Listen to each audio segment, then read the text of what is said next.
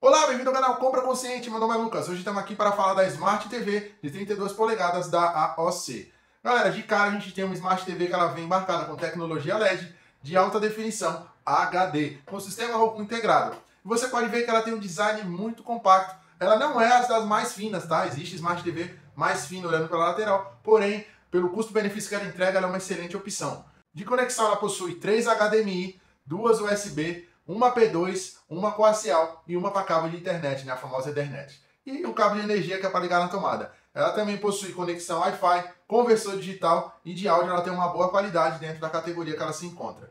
E ela tem a tecnologia sem bordas, que traz aquelas bordas bem finas, quase que não tem borda nela, então ela acaba tendo uma sensação de tamanho maior. É compatível com a Alexa, então você pode é, é, agregar a Alexa à Smart TV e ela, o, a parte de trás do suporte dela é o VESA 100mm, tá? Aí você pergunta, Lucas, essa Smart TV é boa? Devo comprar? Para quem é? Olha, se você procura uma Smart TV que seja, não seja muito grande, que é uma de 32 polegadas, tá? Mas vou deixar outras versões aí embaixo também maiores.